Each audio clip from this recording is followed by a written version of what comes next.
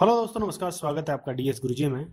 मैंने हमेशा आपसे कहा है, जब भी आर एस और सिविल सर्विसेज़ के एग्ज़ाम होते हैं, उनमें स्थिति के आधार पर प्रश्न पूछे जाते हैं, चाहे वो इंटरव्यू का प्रश्न हो या वो लिखित का प्रश्न हो।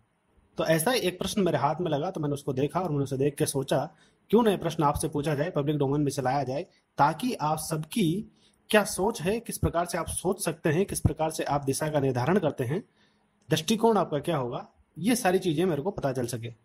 तो आप इसको देखिए और उत्तर कमेंट पे लिखिए।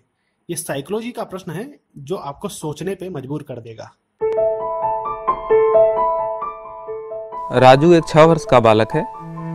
शारीरिक कद काठी में वह बिल्कुल सामान्य बालकों की तरह दिखता है, परंतु पढ़ने लिखने में अपनी कक्षा के अन्य बालकों से बहुत पीछे है।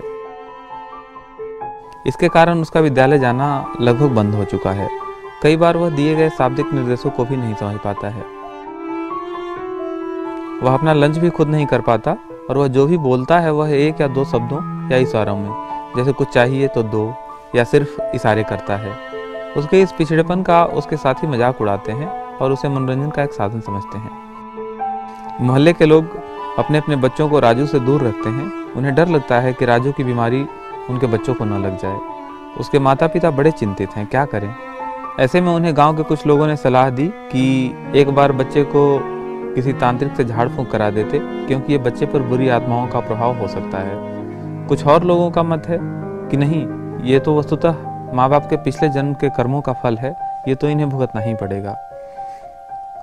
एक मित्र ने राजू के पापा को सलाह दी है कि किसी अच्छे डॉक्टर को वो जानते हैं, जिसकी दवाई से कई ऐसे लोग ठीक हो गए हैं। राजू के माता पिता बहुत तनाव में हैं, आखिर क्या किया जाए? इतने में गाँव के एक शिक्षक आकर बताते हैं कि इसे विशेष विद्यालय या गाँव के विद्यालय में भेजो, जिस पर सभी अन्य लोग हंसने लगे कि गुरुजी, क्या आप इस पागल को पढ़ाएँगे?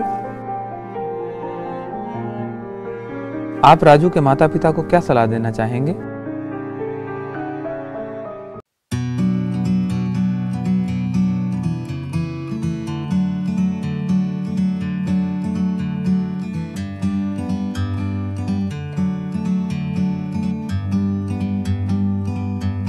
Like a bird on a tree.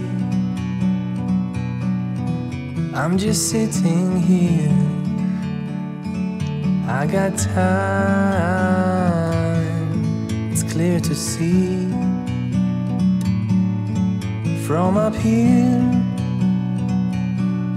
the world seems small. We can sit together so beautiful.